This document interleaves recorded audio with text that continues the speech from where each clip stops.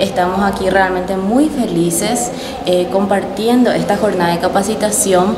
eh, sobre salud mental y trastornos por consumo de sustancias. Esta actividad es organizada por la Universidad Nacional de Itapúa en el marco del Plan Departamental de Prevención de Drogas 2019-2023 con el apoyo de la Gobernación de Itapúa, la Séptima Región Sanitaria y otras instituciones. Estamos muy felices, como les estaba diciendo al principio, porque hoy contamos acá en la universidad con médicos y enfermeras de los 30 distritos de Itapúa, de las unidades de atención primaria de la salud. ¿verdad? que es a ellos lo que hoy les vamos a estar capacitando, los instructores le van a estar capacitando el doctor Manuel Fresco y la doctora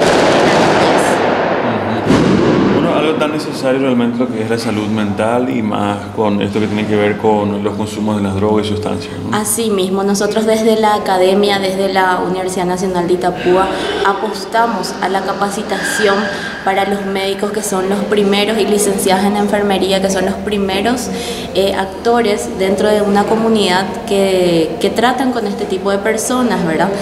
Eh, también esta tarde eh, cabe mencionar que vamos a estar realizando la misma capacitación, pero para actores judiciales. Va a ser en el Poder Judicial, en, el Palacio de Justicia, acá de nuestra circunscripción, eh, y está dirigido para magistrados, fiscales, defensores públicos y todos los actores judiciales para que sepan también cómo tratar estos casos. Esta es una actividad que forma parte del Plan Departamental de Prevención de Drogas de Itapúa.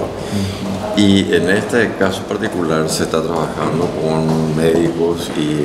demás integrantes de los equipos de salud de la familia de APS, que es Atención Primaria de Salud, de la red del Ministerio de Salud Pública y Bienestar Social, que significa capacitar básicamente en lo que es el diagnóstico y el tratamiento oportuno de los problemas vinculados a la droga. Hay que entender que las unidades,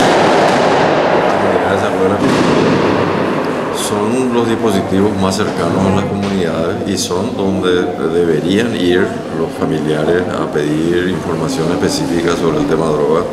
cuando se comienza no es una característica necesariamente que tiene que manejar el especialista en el tema de Por eso que es importante que eh, mucha gente vino, una gran respuesta